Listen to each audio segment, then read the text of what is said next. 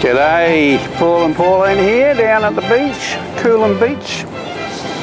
And our Bible reading this afternoon comes from Colossians, from uh, chapter 1, verse 9. For this reason, since the day we heard about you, we have not stopped praying for you.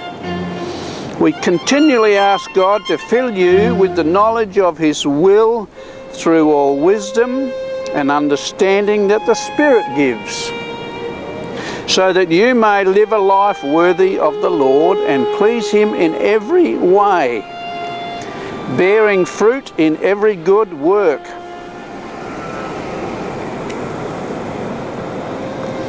Growing in the knowledge of God, being strengthened with all power according to His glorious might, so that you may have great endurance and patience, and giving joyful thanks to the Father who has qualified you to share in the inheritance of his holy people in the kingdom of light.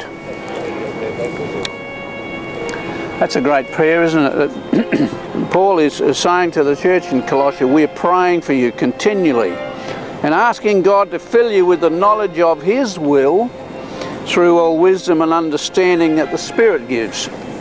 You know, we need to pray and ask, Lord, are we in your will? Will you fill us with the knowledge of your will for our lives so that we may live a life worthy of your kingdom? A beautiful little meditation for today.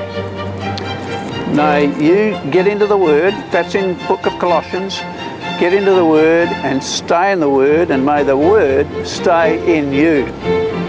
You have a great day.